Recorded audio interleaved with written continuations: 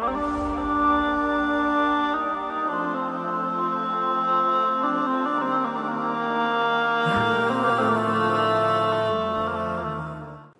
عليكم ورحمة الله وبركاته. يقول الحق سبحانه في سورة الذاريات: "والسماء بنيناها بأيد وإنا لموسعون". لماذا رسمت أيد هنا بياء في منتصفها؟ قال ابن البنا المراكشي: كلاما حسنا خلاصته أن زيادة الياء جاءت لتوضيح الفرق بين الأيدي التي هي جمع يد والأيد التي هي جمع قوة. ولا شك أن القوة التي بنى الله بها السماء هي أحق بالثبوت في الوجود من الأيدي فزيدت الياء. والراجح أن كلمة أيد هنا هي جمع يد وردت في القرآن الكريم بالرسم العادي مرتين.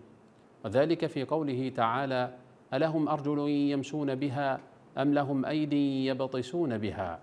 وفي قوله سبحانه واذكر عبدنا داود ذا الأيد إنه أواب.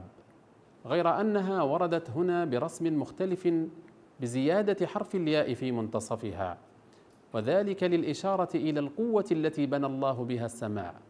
كما تشير إلى قوة وعظمة هذا البناء الذي بناه الله عز وجل.